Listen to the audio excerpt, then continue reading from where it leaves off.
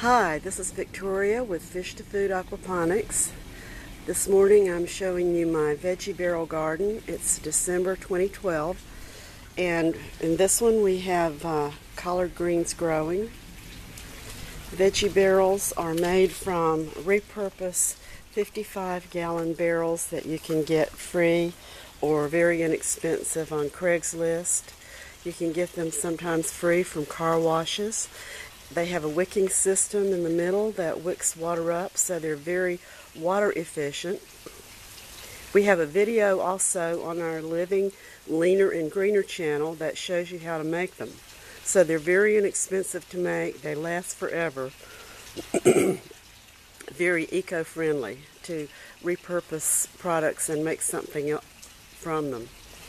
So in this one we have um, we have collard greens, we have um, beets and kale. This is our blueberry barrel that will come out next spring. And we have a lot of uh, dinosaur kale in this one.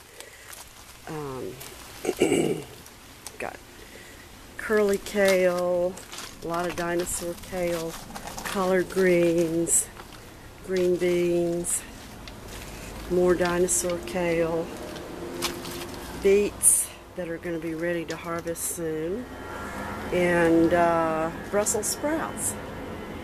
So as you can see, things are coming along very nicely. Uh, we're very pleased with our veggie barrel garden and uh, if you'd like to know how to make one, you can see our video on the Living Leaner and Greener channel. Thanks for stopping by.